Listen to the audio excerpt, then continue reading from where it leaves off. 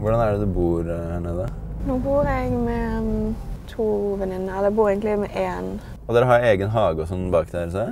Ja. Hvordan kan Det er du se ganske nice, da. Ja. Jeg gikk rundt på baksiden. Det, vi leier sånn Airbnb-sted hvor det er skikkelig svært og sånn nesten luksuriøst på en måte. Ja. Men jævlig stygt.